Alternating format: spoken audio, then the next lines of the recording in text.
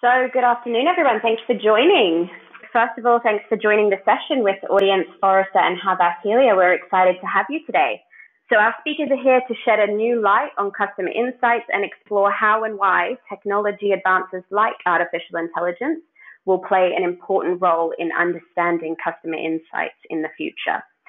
Please tweet us at AudienseCo with the hashtag AI for Insights.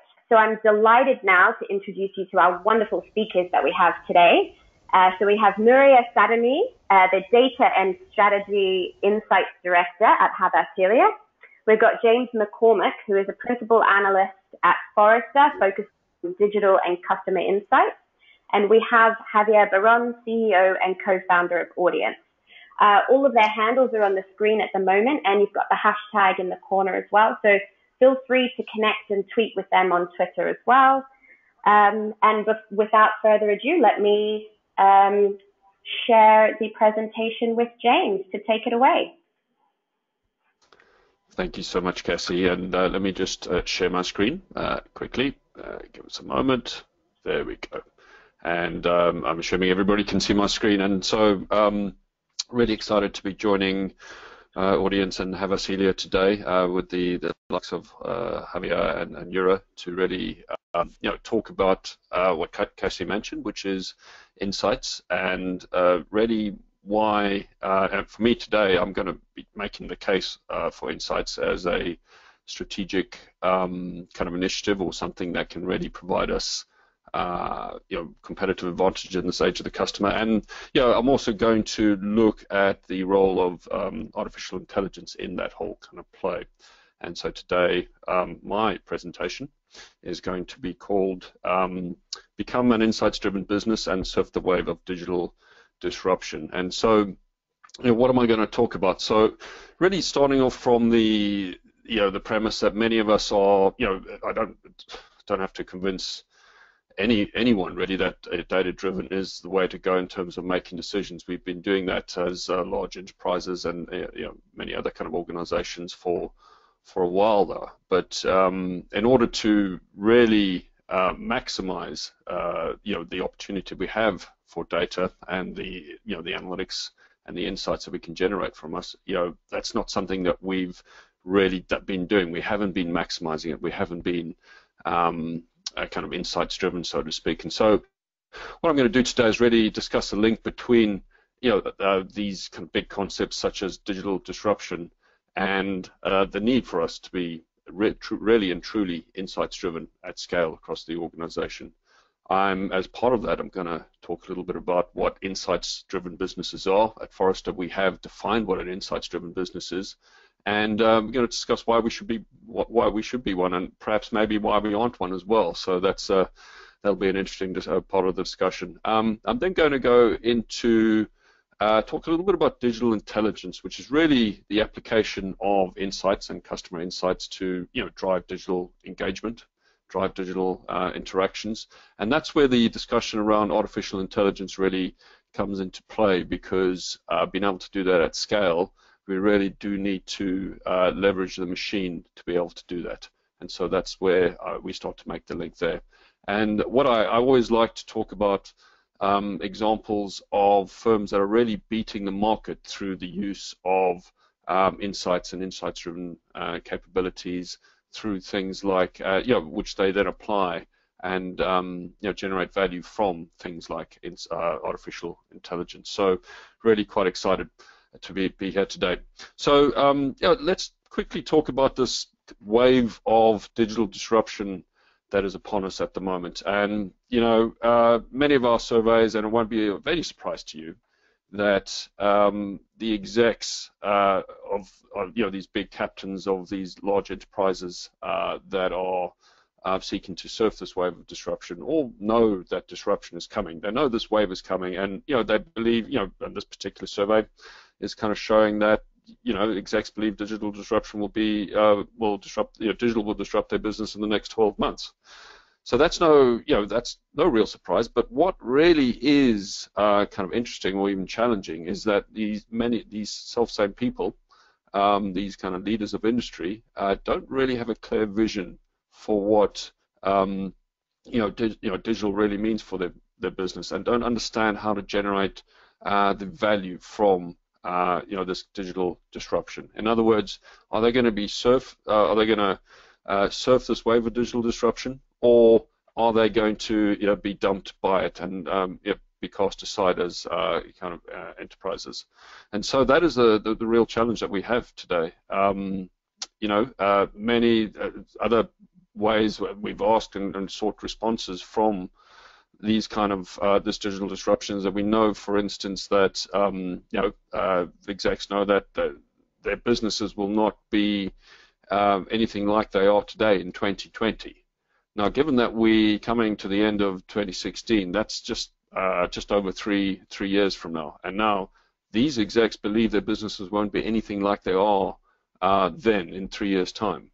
And so it's pretty scary when they actually don't know, um, you know, what to do and how to uh, go about it. So, you know, we totally believe uh, at Forrester, and we kind of see that borne out in our research, that uh, to, to be able to compete and surf this wave of digital disruption, we really need to be good at, um, you know, uh, changing data and, and uh, using data and turning that into action. Why? Because digital really represents an opportunity and also a challenge, by the way, to instrument the interactions that we have with our customers and across the business actually uh, for you know collecting data really about that interaction about that um, you know the the impact of those decisions. And um, then being able to you know generate insights from that and then being able to uh, secondly because it's a digital interaction be able to apply uh, or to change that interaction or influence in some kind of way because of that data. So we have a lot of uh, data and um, you know, which will be able to, uh, if, if, we're really good at uh, being insights driven, uh, to be able to drive into a lot of actions and certainly inform actions at scale. And um, you know, the great thing is that most of us, or three quarters of us, really, um, aspire to be data driven. So we all kind of realize that we want to uh, be data driven. But again, there's this kind of gap, right, where uh, less than a, uh, a third of, of firms are really feel, and this is self-reporting, they don't believe that they're good at turning data into action. And certainly my experience in speaking to uh, you know, firms and leaders, uh, you know, week in, week out, and you know, looking at their businesses under a, a microscope. That, that is uh, definitely true. We're not really good at that, and, that, and there's a, a, definite gap or disconnect between the data we collect and the potential data we collect, uh, you know, to drive uh, actions, and that's where um, you know uh, we are going to suffer if this in this digital disruption wave is going to come upon us. If we're not good at doing that, then we're not going to surf it. Um, and so at Forrester, we firmly believe that uh, we need systems, and you know that's technology and our process and the people in place that are able to tightly integrate the uh, engagements that we have with our customers, or these systems of engagement uh, or touch points, with the insights uh, that we gather about those those engagements. So that our systems of engagement need to be really tight, uh, tightly integrated with our systems of insight, and they should be almost one and the same thing. And uh, you know, in order for us to uh, surf this wave of digital disruption, and at Forrester, we believe that you know firms that do this well are what we call insights-driven businesses. And uh, so, what is an insights-driven business? It sounds all very um, parochial, if, if, I'm honest with you. It's not an exciting term, but you know, because many of us believe that we are. And many, and so let's read this definition in front of us. It's an insights-driven business harnesses and applies data and analytics at every opportunity to differentiate its products and customer experiences. So let's, you know, many of us might feel that we are. In fact, I, I, certainly believe that most of us harness and apply data and analytics. You know, there's no, uh, there's absolutely no doubt that we, we do. Um, but do we do that at every opportunity to differentiate our products and customer experiences? Do we have a strategy around doing that second part of that sentence? And do we actually do that? And that is really what differentiates insights-driven businesses really from the rest of us. And so part of the reason why uh, you know, we are not insights-driven businesses, or most of us really aren't insights-driven businesses, is because the whole ROI discussion around um, the technologies, the processes, the investment we need to make in um, uh, data and insights to drive particular functions has really largely failed in, in terms of uh, applying or being able to drive a, strat- a strategic corporate initiative around this.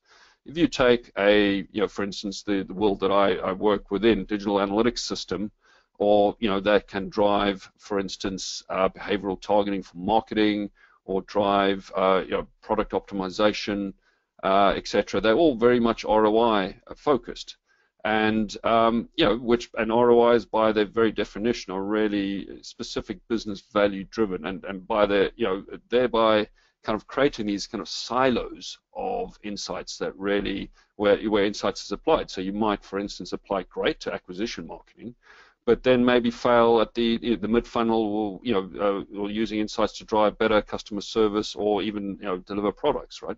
And so um, for me uh, ROIs are you know, I'm not saying we shouldn't be doing that, but we should, uh, we need a more strategic language to really talk about insights so that we can drive it across the enterprise. We need a language for our CEOs to understand, to understand, to understand the real value. And so at Forrester, we've tried to do that, and we've uh, recently released this report, Insights-Driven Businesses, uh, about insights-driven businesses, and whereby what we did was we um, we you know we analyzed um, you know startups uh, insights-driven startups, so startup uh, firms that were VC funded. Uh, we kind of looked at uh, sources like PitchBook, for instance, and we looked at the, the, the revenues of these insights-driven businesses uh, that were also startups, and um, we tracked their, yeah, we looked at their growth today and also to 2020, and you know, with a 40% compound annual growth rate, you know, we're looking at about a quarter of a trillion that these, specifically these these small startups, you know, this is what they're going to grow to in 2020. And that, you know, that's really interesting, okay? But it really gets interesting when you then look at publicly traded firms, so large uh, incumbent firms that are really, um, that we felt were um, insights driven when we really looked at it. And there was 40 of them, right? When we, when we really looked at uh, sources such as Morningstar, and we looked at the firms that were listed in those publicly traded um, listings. And uh, we kind of looked at what their growth rate was going to be. We calculated using standard uh, formula, and you know they are growing at about 27% compound annual growth rate.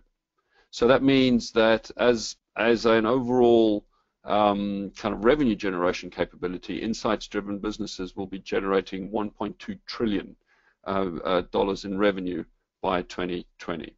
Now, the question you need to ask your um, CEO is whether she or he wants to be part of that 1.2 trillion or wants to be part of be left behind um, with the you know glo- uh, you know the, the, global GDP, which is around 3.5 percent annually annually. So I'm not saying that this is the complete discussion, but the, this is the kind of language that we need to use in order to uh, really drive um, you know strategy and to really deliver competitive advantage. And when you look at some of these insights-driven uh, businesses, which we will talk about um, very um, soon, you will see that they do have a strategy around being insights-driven, and um, they do have that executive sponsorship. So, you know, so let's talk a little bit about the this digital intelligence practice that I've talked about, which is really the application of insights and being insights-driven around customer engagement and look at um, what we need to really succeed. Well, first of all, we need a strategy, and we need a strategy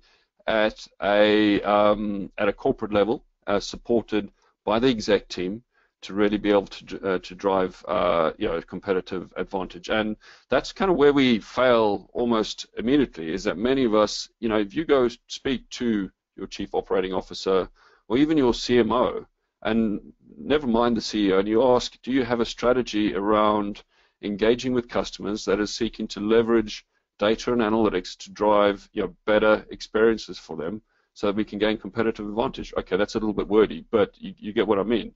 And most of them, when you ask them, say, yeah, yeah, we'll speak to, you know, my CMO, we'll speak to, you know, head of analytics. And, um, you know, so that's their kind of nod to it. But is it really a strategy?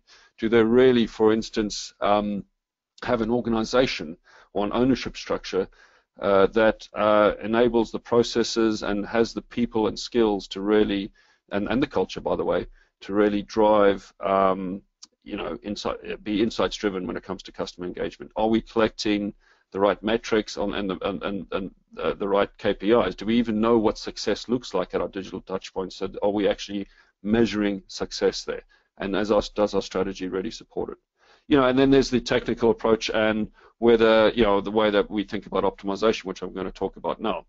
Um, so let's quickly deep dive into the you know the technical architecture that we need to be thinking about in the strategy that uh, that I'm talking about. And you know we don't need to be too um, you know uh, sciencey about the whole thing. It's pretty simple. We just need data uh, management capabilities to manage our digital um, data that we get.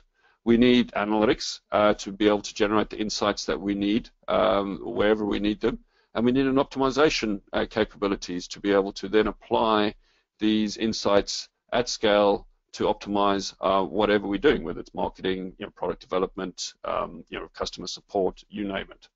And these systems really need to work very closely and be tightly integrated with each other, um, and be a, and you know data and information needs to flow very tightly between them in a in a very tight loop um, kind of way. Now, because it's digital intelligence, because it's insights for um, customer engagement that really needs to be highly integrated and um, and needs to be able to keep up with those fleeting moments that we have with our customers.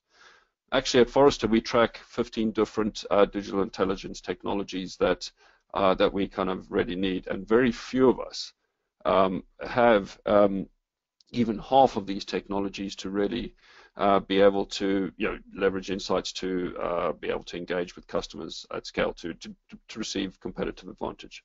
Anyway, so that's the the technology side of things. So we just need to think about the uh, available capabilities that there are out there. Uh, we need to be audit where um, you know uh, there, there are gaps in terms of uh, the insights, the data, and the optimization capabilities, and, and have a, a clear roadmap that seeks to fill those gaps as well. Now, um, let's talk a little bit about uh, this kind of concept of continuous optimization. So many of us do indeed use data and analytics in some way to optimize, say, media spend, to optimize um, you know, paid search, to optimize mid-funnel conversions to optimize uh, the way that our app is uh, configured and uh, the way that our developers build experiences within, et cetera, et cetera. But do we do this uh, continuously at every opportunity? Do we leverage every customer interaction that we have across all of our digital touchpoints? And do we use uh, that, that, that interaction to collect information about our customer and the moments of engagement so that we can evolve, evolve the understanding we have of our customers during these moments of engagement? And then do we then change the way that we engage with customers or the way that the system reacts in order to do that? And then do we test it again? And do we do this continuously at scale uh, in order to gain that competitive advantage? Well, the answer is not. We don't do that at scale. Uh, we, we're not doing this at scale.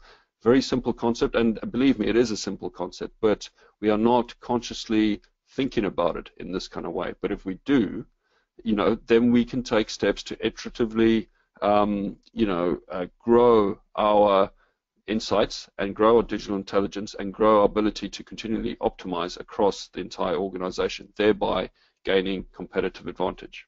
If you think that this is just some kind of scientific uh, science fiction future, uh, think again. I mean, you just need to look at companies such as Stitch Fix that leverage um, machine learning and um, and, and, it's kind of an artificial intelligence kind of way to uh, to continually optimize the engagements that they have with their customers. So let me explain. So Stitch Fix, for those of you who don't know, is a American-based um, uh, fashion retailer, online fashion retailer, and what they do is they sell fashion. And let me explain a little bit more. So as a customer of Stitch Fix, Stitch Fix what you do is you um, you sign up and you give your preferences about what kind of uh, fashion uh, items you like, what you aspire to be. Are you professional? Do you uh, want holiday apparel or whatever it might be? And you feed that back in, in, in terms of the, the preferences that you want and when you sign up. And then every so often, every month, every three months, a stylist sends you a box of about five or six fashion items.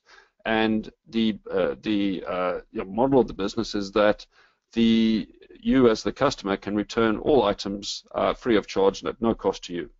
And so it really is uh, important for that stylist to get the uh, you know those items right and to be able to really understand you and, and understand the, the mood of the market, etc.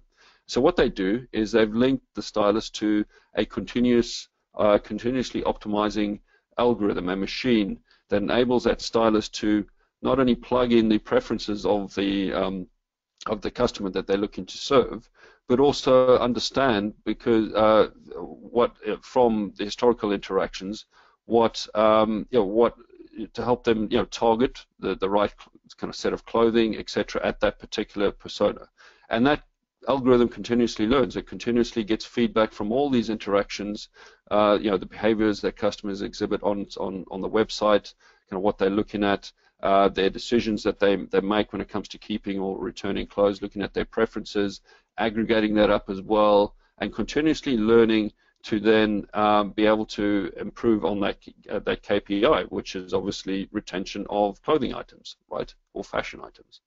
Now, the interesting thing here is that this really started off as a digital intelligence play. In other words, being able to uh, help better uh, digital engagement with the customer and obviously you know the overall uh, the firm's KPIs. But then the procurement team, uh, so the team within Stitch Fix that um, looks to keep their, their stock levels at, a, at the right level so that they can service their customers uh, you know, according to the SLAs that, that were agreed. And what they kind of tapped into this algorithm to really help them understand what stock items they should have and how much they should have at any particular time, thereby actually reducing the cost of um, stock um, to one of the lowest in the industries, according to actually Eric Colson is the uh, chief algorithmic uh, officer that we, we spoke to at Stitch Fix. And so it had a, in this particular instance, it, it not only, you know, being obsessed with customer and understanding customer not only drove better kind of revenues, but also reduced uh, significantly reduced cost as well. So really kind of interesting um, uh, kind of take on an insights-driven business, so a firm that really gets a competitive advantage around that. There's a few others I just want to mention. Uh, so there's a company called Earnest, a, a student loan company, uh, and what they do is they measure up to um, 100,000 uh, data points um, for each you know, student that's, that seeks uh, that looks for a loan and you know, eventually becomes a customer. And uh, they feed this into a continuous optimization engine to improve, improve the loan decisions of the loan officer, right? So still machine human working together. Um, and so what they're really good at doing is uh, offering loans to students that their competitors won't, because you know, for instance, their competitors will look at um, you know, credit rating agencies and look at data there. Now, I don't know if you guys were like me as an 18-year-old student, but I didn't have much of a credit history, and so they are able to then you know, better service uh, you know those those students because they they gather behavioral information, social information, and up to 100,000 data points, uh, which on each individual that which really helps them. And what they're also really good at doing is reducing costs. They they, they happen to avoid students that um, their competitors might, through their you know the standard way of uh, gauging risk, uh, have provided a loan, which which but which their you know their risk models through this continuous optimization engine has told them not to loan to. So again, a double whammy. Tesla, let's talk a little bit about Tesla. So what they do is they stream performance data from their vehicles uh, continuously uh, to help them then uh, optimize the software and, and the way that the, the machine runs and how to kind of configure that machine. And then they download the latest configuration, the latest version of software over the air, which they then test and analyze again, thereby continually optimizing that product. Alaska Airlines, I like them because it's a fairly simple yet powerful way of continuous optimization. All they did really was instrument their aircraft doors to record, you know, when they were open and when they were closed, so that you had um, and, and, and that was reported back. So the COO meets on a weekly basis with the senior team to review the scheduling and, and how well they've done and, and you know where the, the areas and the issues are, and thereby taking actions to uh, optimize, uh, continually optimize and improve the processes and uh, improve their on-time arrivals. And as a result, they've moved for the region anyway from the best, from sorry, the worst when it comes to on-time arrivals to to the best in that particular region when it comes to uh, you know the Washington Post, you know they you know one of their uh, their goals, of course, is to beat their competitors when it comes to being able to deliver value to their advertiser when it comes to their digital site. And we spoke to um, a chap called Dr. Sam Han, who's uh, director of uh, personalization and big data there. And uh, what they do is they continually um, monitor the, the, you know the clicks on ads on their websites uh, versus the types of customers that are doing that uh, that are clicking on those ads, and they are continually uh, improving their relevance, what they call what he called their relevance engine, uh, to then improve um, KPIs such as uh, response rates, click-through rates, etc. So very much like that. And then lastly, is actually this is my my favorite is there's a Danish uh, football club called Midtjylland. Um, apologies to the, the Danes on the call, whether they see if I got that uh, pronunciation right. But they rose up from nowhere uh, a, few years back to uh, actually beat Man United in the first leg of the Championship League last year. And um, the interesting interesting thing is how you know this this tiny team, which is basically a hundredth the size in terms of capital investment and revenue than Man United, how did they beat them in the at least the first leg? They lost the second leg, by the way. The answer is that Matthew uh, uh, who uh, bought the club, uh, bought a majority share in the club. Um, and Matthew, he comes from Smart Odds, which is an online betting company, which is obviously very, that these companies are very insights driven. And what he did was he insisted that the, the club applied data analytics and continuous learning at every opportunity, you know, for kicking, uh, you know, for kicking coaching, for halftime team talks, for set piece plays and player selection, thereby being able to leverage existing assets uh, to their maximum and to, to, gain that competitive advantage. So you can see that it's not just um, you know the Amazons of the world, the Netflixes of the world, etc., that are gaining competitive advantage with insights. These are real companies, um, incumbent companies, some of them that are really making um, strides when it comes to becoming um, uh, when it comes to being insights driven.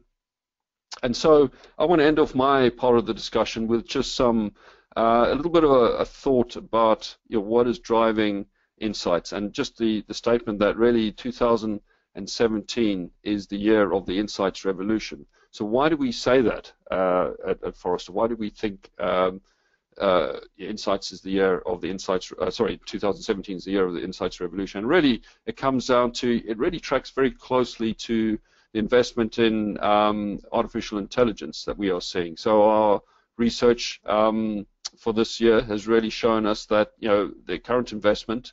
So uh, you know, 10% of large enterprises, uh, you know, this year have are spending on artificial intelligence. Next year, we expect that to be around the 45% mark. So that's huge. That's a you know over three, four hundred percent increase in uh, in in firm number of firms that are actually spending or enterprises that are spending on this space, and that tracks actually very closely to some of our other data when it comes to the democratization of insight. So, for instance, we know that know, we've seen a steady trend last year and this year of an increase in these business decision makers who feel that they are unencumbered, un unencumbered when it comes to access to these valuable insights to help them make their decisions. We believe that due to th things like artificial intelligence, that that will increase to two-thirds um, this uh, uh, next year, 2017. And so why why is that the case? Why do we think that is the case? Well, as we kind of mentioned up front, you know, the man mantra that many of us have had is to try and close the gap from insights to action. And uh, we firmly believe, and we've seen this, that uh, artificial intelligence and you know, technologies around this can en enable this um, by providing faster, more precise decision-making capabilities based on sophisticated anal analytics and putting that in the hands of the business decision uh, maker, so that non-specialist.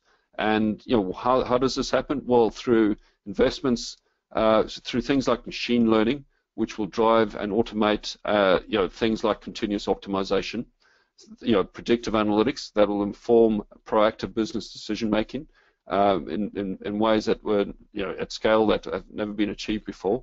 And you know, lastly, through things like natural language processing, which will allow the business professional to readily communicate you know, queries to the machine, which will then be able to um, you know, do its sophisticated uh, analytics and mathematics, and that feed that back in a way that the, that is relevant to the business. And so that's why we think there is a um, you know a big link between artificial intelligence and the growth and adoption and things like the, the, the insights revolution that we are witnessing and we will continue uh, to witness um, you know, next year. So um, I just want to end off by just reminding us that uh, you know a top-down artificial intelligence and insights uh, support is needed to really deliver uh, and to be able to surf this wave of digital transformation. We should um, learn from the execs of Stitch Fix, uh, Alaska Airlines, Midtjylland, and a few others that show that real support does bring competitive advantage through you know, delivering this kind of thing at scale across the enterprise. And we see that these same executives, these same firms are investing heavily in other senior uh, execs, such as chief uh, chief data officers, which for the first time this this year, um, well, well, the first time next year will become the majority. So we know that um, 40, 51% of large enterprises will actually have a chief data officer. Uh, for the first time in, in history, they'll, they'll become the, the, the small small majority.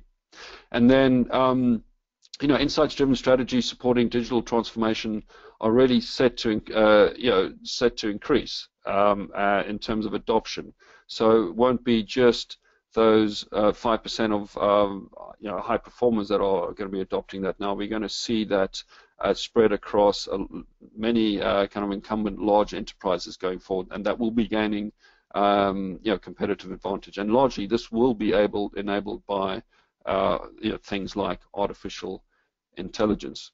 So I'm going to uh, end my this this part of the discussion off with a big thank you, and um, I'm going to hand over to uh, Havas Helia to um, uh, to the folks there to to talk about that. So, uh, yep, over to you guys, um, Javier and uh, Nuria. Yeah, thank you very much. Uh, thank you very much, James. Uh, those examples were truly amazing. Um, actually, I'm gonna take advantage of uh, my position here and ask you, although we have uh, later questions, I wanted to ask you um, if there are any specific industries that you see that they are succeeding the most yeah, sure. Well, it's quite kind of if you really look at from a spend perspective when it comes to you know uh, it's the way to look at it can be quite complex, but if you look at it from a digital intelligence perspective, which really applies those insights and those kind of elements of artificial intelligence, you can really you know for for quite a few years now it's been you know retail or online retail. Uh, uh, probably no surprise has been the biggest spender. We've then looked at, uh, you know, then travel and leisure being the second biggest spender. This is overall spend, right? And, you know, then financial services and insurance, and it kind of tails off pretty quickly over there. Now, the interesting thing is, is that um, financial services and insurance, they are perhaps the, the fastest growing um, sector. So whilst they might be the third, third biggest spenders, they are growing the fastest. And I've kind of seen that in the last 18 months has been this kind of liberation of um, yeah, insights teams to be able to apply particularly customer insights to um, acquiring and retaining um, customers. And that's because we be they've become better at distinguishing between different types of customer data and being able to manage um, you know, what's really PII sensitive, what's not, etc., and being able to then um, have systems that kind of uh, can separate out the use of those particular types of data. So yeah, quite interesting. Sorry, a long, uh, Javier, a long uh, response to your question, but hopefully it did answer it. yeah, definitely. Thank you very much. Very, very interesting. So. Um, uh, Nuria and I uh, will be covering how artificial intelligence is transforming the customer insight re um, revolution but uh, before that, uh, just uh, let me address how Audiense uh, fits into this. So we are an Audiense. We're able to deliver powerful consumer insights for our clients, and we we do that with with the use of artificial intelligence and cognitive computing systems. So we have worked with Havas Helia on a pilot for a top FMCG brand um, where we have been able to apply these insights to optimize many areas of their business. Uh, but before I get into that, uh, let me give you um, a little bit of background. Um, so uh, we know that every brand uh, in the world wants to know about their consumers. Uh, they have goals to improve marketing, uh, campaigns, messaging, and as well they need to devise new products or make their current products better. Uh, they as well need to open up new markets. Um, uh, for all of that, understanding their consumers uh, is crucial.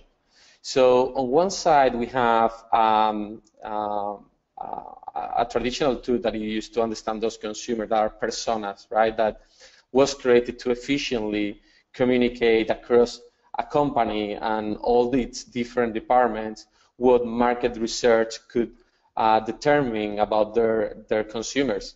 And depending on the goal, if, it's, uh, if it is more strategic goal or more tactical goal, we may need um, internal first-party data like transactional data uh, to create particular campaigns, to, to target particular coupons and offers based on time, or external data if we are, uh, for example, creating a new product uh, or doing market sizing.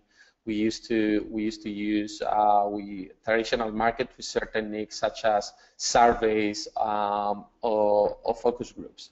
Um, on the other side, we have social media that um, I think all, we all agree that has changed uh, many of the dynamics of marketing, right? Introducing real-time marketing when Oreo uh, owned the Super Bowl with uh, one single tweet. Um, but the generation of all that data, um, uh, all those tweets, all those posts in different um, social media networks um, uh, definitely is creating another disruption, right? And that's the social data by itself, or more powerful, even the combination between that social data with first-party data, transactional data, is playing a very important role in both strategic persona creation, so understanding better your, uh, your consumers, uh, and, and, complementing those market traditional marketed research techniques, but also on the tactical side. Um, so I have a question uh, for you, Nuria. Uh, in your experience, um, how have you seen social data in combination with other sources complementing each of these quadrants?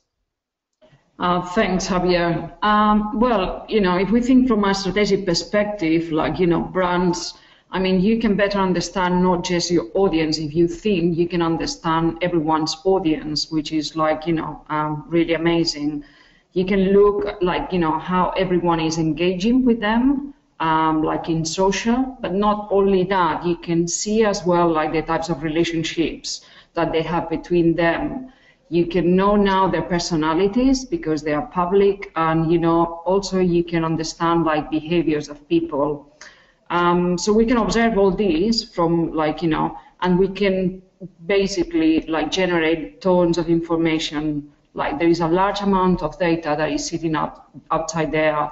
With that, you know, the possibilities are endless. You can create custom audience, you can create lookalike audiences, and by combining all these data points with like, you know, other first party data or like third party data, you end up with like you know, a plethora of data points that, you know, basically providing you lots of signals that you can use to fine tune your strategy.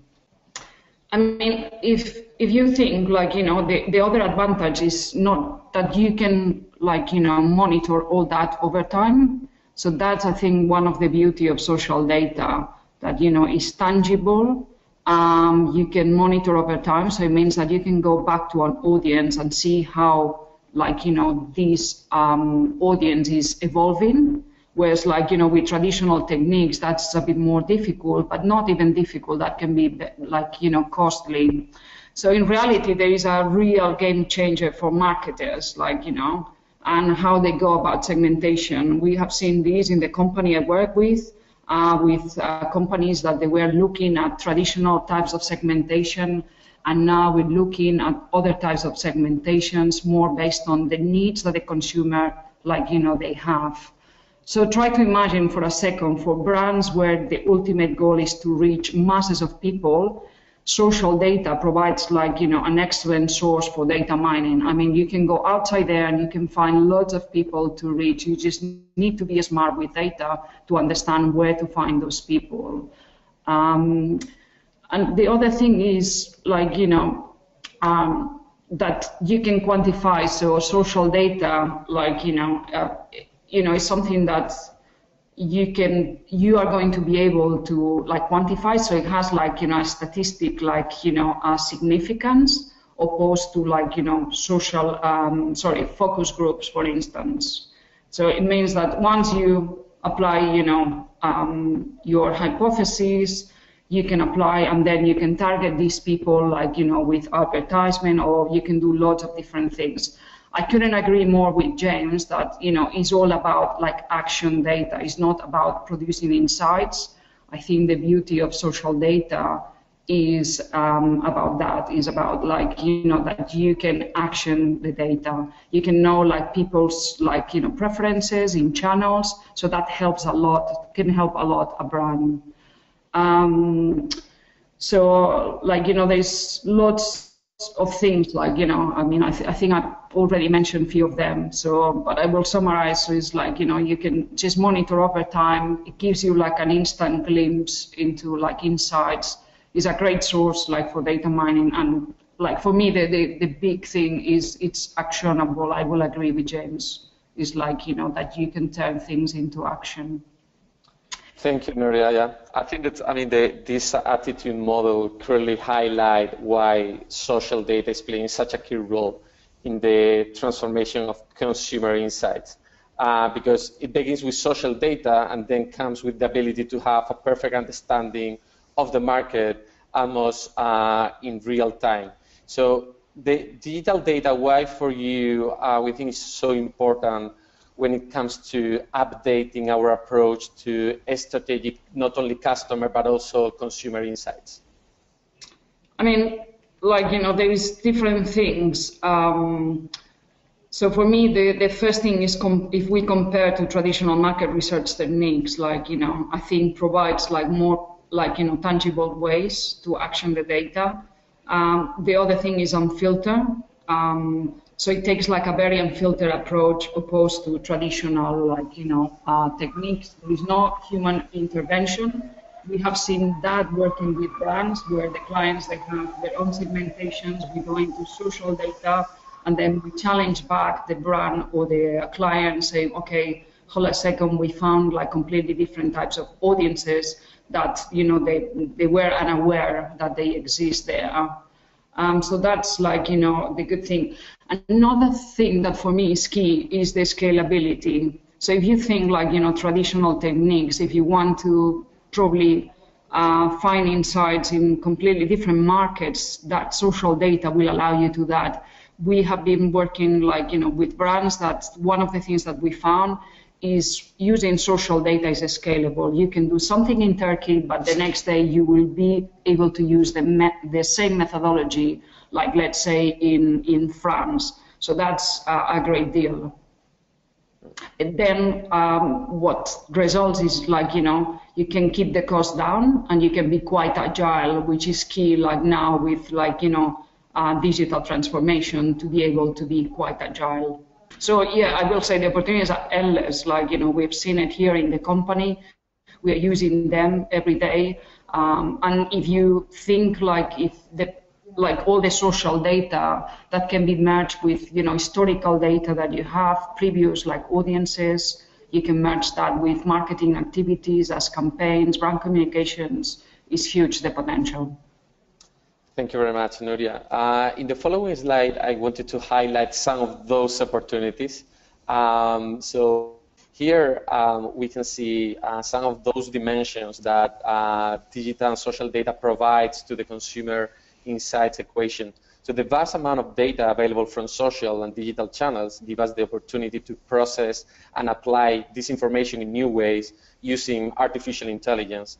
Um, here I would like to highlight some of those. So for example, using um, using psycholinguistics, we are able to see, we are able to know um, how a particular audience engage with the world, what are their their uh, their personality traits, or what are the motivating factors that make them uh, make a decision, purchase a product, or click in your in your CTA, but also understand the online habits or how the, how are they connected.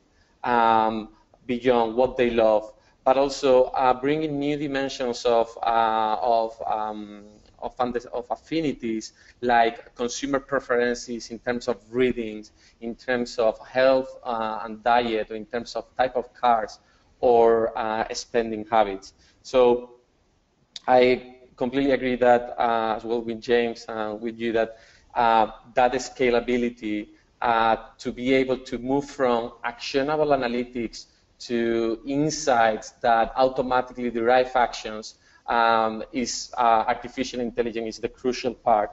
Um, so um, that's that's kind of one of the important things. And um, and and Nuria, we have worked together for a FMG uh, FMCG client to better understand uh, consumer segment, different consumer segments. How um, uh, Havas Helia and cognitive computing enhanced insights uh, uh, and how that client was benefited from, from those. In at Havas Helia, we are starting to use more and more artificial intelligence for many applications. We start to discover that has loads of applications. Also, because like some of the clients we work with, they already have like you know they they have their own data.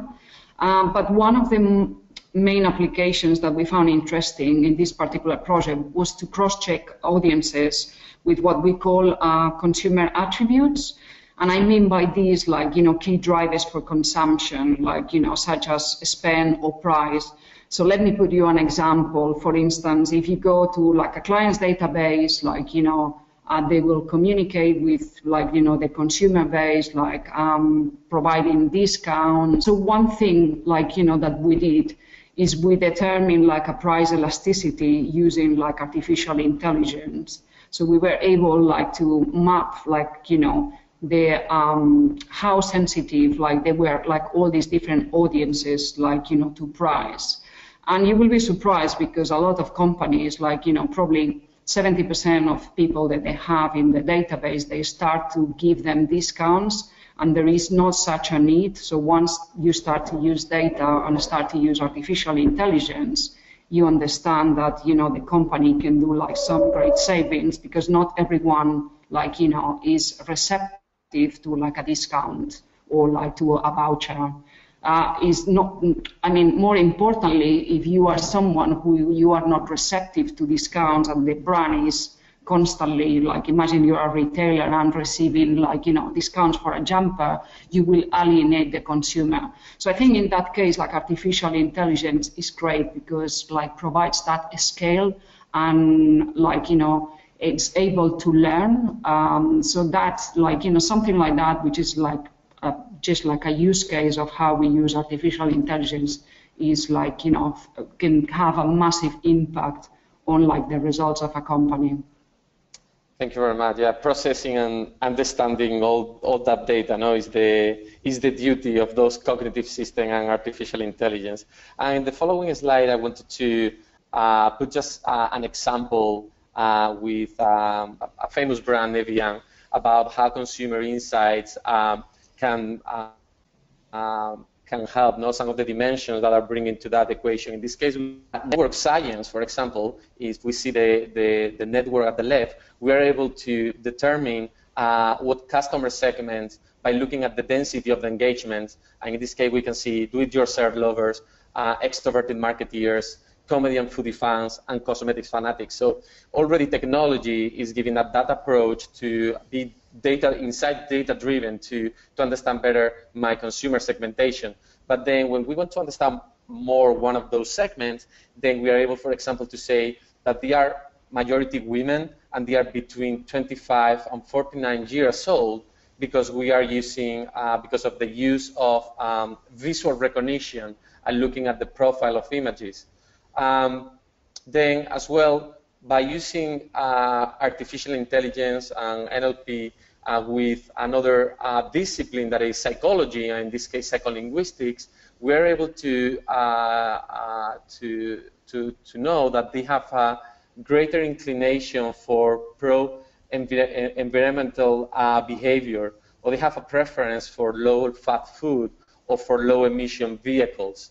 Um, we also know that uh, they love the Great British Bake Off and the X Factors, uh, that the 90% of that segment are online on Sunday evenings, and that apart from cosmetics, um, they love comedy uh, and cookbooks uh, more than the average UK individual. And machine learning, um, psycholinguistics, visual recognition, and network science, in this case, um, have been the, the, the, the, disciplines that, alongside um, uh, be, between them, we are able to extract this kind of uh, this kind of insights. So as you can see, there are many layers of information that can become an important insight that uh, can become that a strategic advantage uh, to, to our competitors. So I know, Nuria, that in uh, Havas Helia, uh, you, you guys have a very good approach to quantify this value.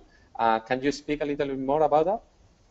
I mean, one of the things is like, you know, marketers, we might feel paralyzed by the lack of um, like perfect consumer data. People, um, you know, I quite enjoy like um, um, James's slides because you feel a bit paralyzed of taking any action because you're expecting like the perfect consumer data to just to arrive. But there are many opportunities to fill in the gaps in the meantime. You can use like third, third party data sets, like you know and he can start to execute some level of personalization like an initiatives with artificial intelligence.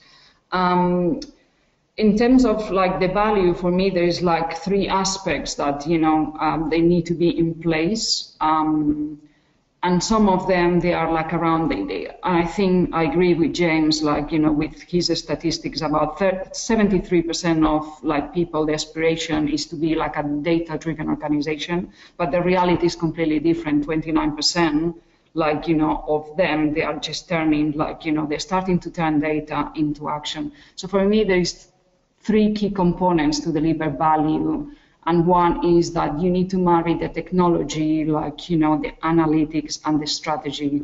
Um, in like you know in my company um, is like you know we have been in meetings that some clients um, they have the technology, so they have done a large investment in technology, and they thinking that because they have the technology in place, you know that the problem is resolved, and you know they are able to deliver value already and that's not the case. Some others, they have the analytic capabilities, but they don't have the technology.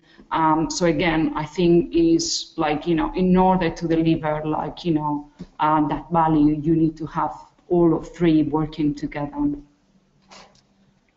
Excellent. So thank you very much, Nuria. So I'm gonna uh, finish with three uh, key uh, takeaways. One of them is, I think we know the importance of that social data, right? As when we use it by itself, or even more uh, more powerful, when we use it in combination with first-party data, with that internal data to gather consumer customer insights.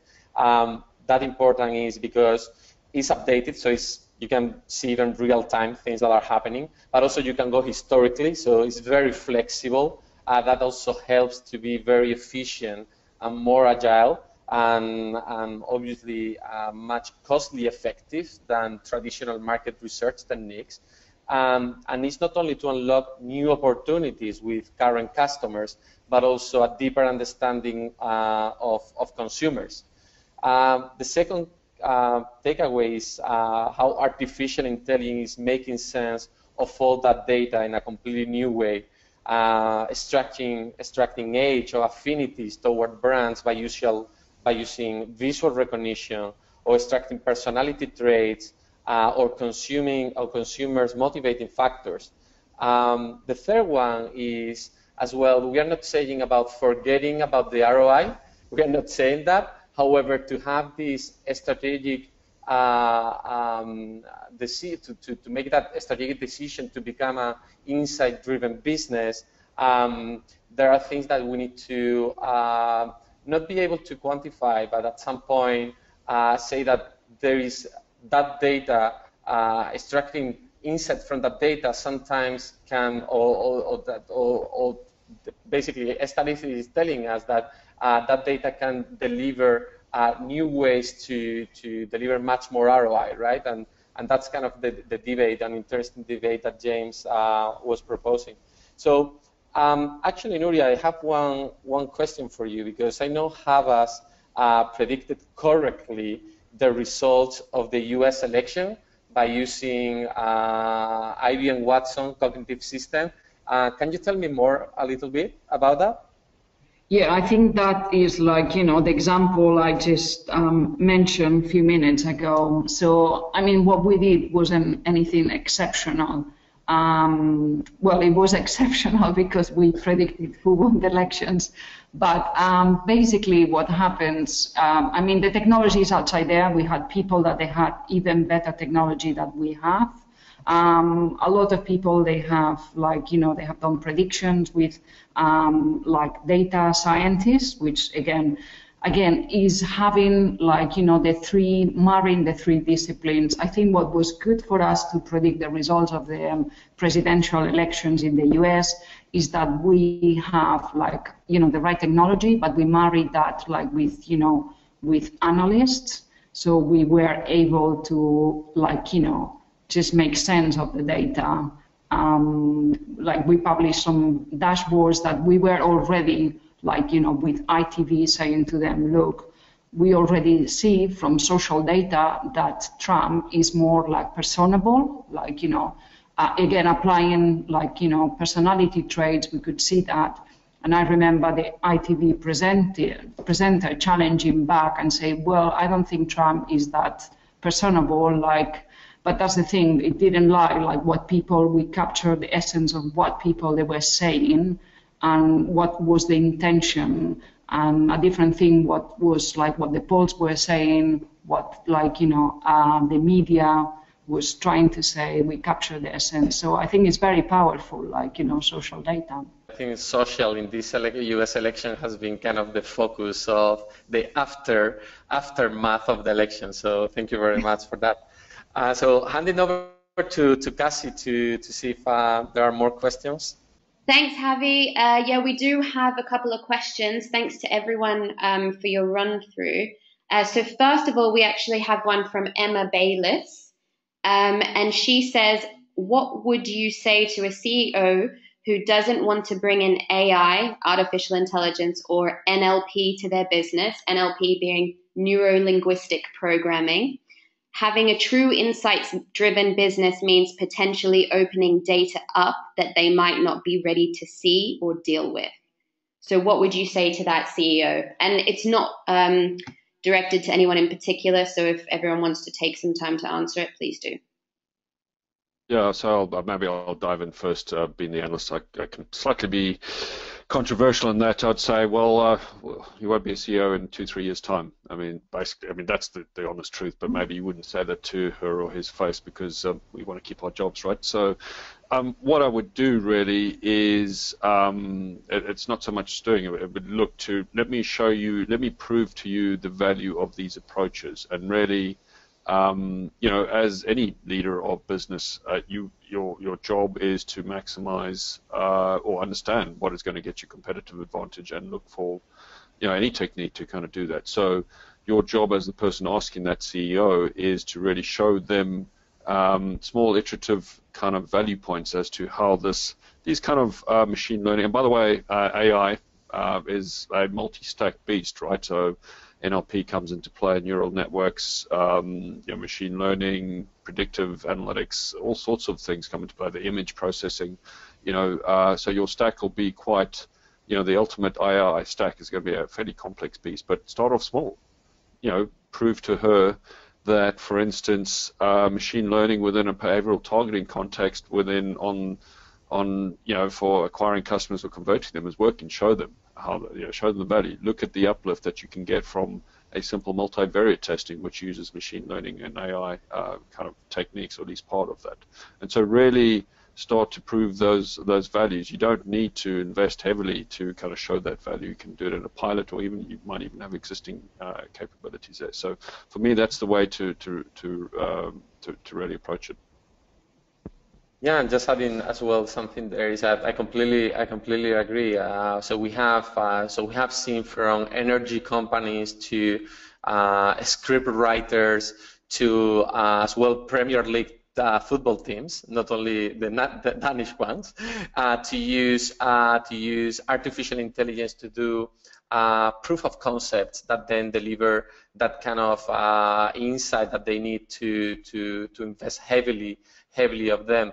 And on the top of my mind, I remember, uh, for example, Telefonica uh, the telecom company, where they um, uh, optimize their advertising based on psychological psychological traits. Um, they um, triple the quality, uh, in this case, the quality of people that they were attracting by by that particular campaign. Um, so I think that's completely uh, through those little proof of concepts is what is gonna uh, help you to, to invest more heavily and, and, and then make those cases to, for, for, for the CEOs.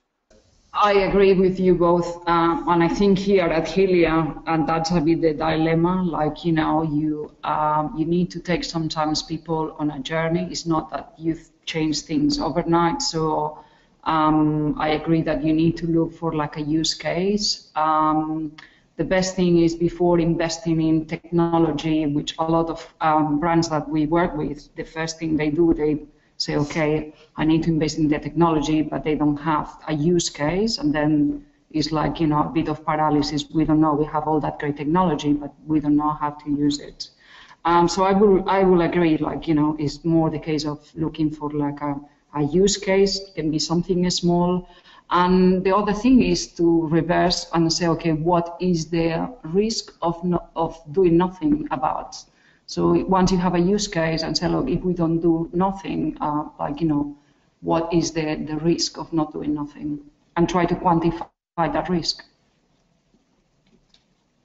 Okay, perfect. Uh, thanks, guys. And thanks for your question, Emma, and hopefully that answered um, for you. Uh, so I actually had a question myself, and I wanted to ask, um, open to everyone. Uh, so obviously, everything that we've all um, spoken about today in terms of customer insights and combining data points is the essentially the utopia of what a brand or business um, should be doing. But what would you say to someone? Um, what are the three key steps to getting to that ideal point? Um, I know you explained how Stitch Fix um, and an FMCG brand are able to use this customer insight. Um, but you know, for for a different sector or a different brand, what would be those three key steps to building that ideal customer insight strategy? Yeah, sure. So, I mean, for me, the, first key step is you do need leadership support here. Your leadership uh, needs to re- have be in a situation where they are beyond convinced that they do realize that um, these approaches, like stitching the data, uh, to deliver competitive advantage is uh, the way to go. So, you know, you need a clear strategy supported by the exact first step. If you don't have that, you know, you're just going to be uh, stumbling around amongst the, you know, the weeds in the forest. Um, secondly, is not a, you know, once you have that strategy and that support, it's not a massive rush to, um, you know, invest is to look at your existing assets, look at your existing skill sets and experiences. Because, so for instance, your, you know, when it comes to stitching and managing data, your marketing team might be really uh, great at it, or some other parts of the organization might be great at it.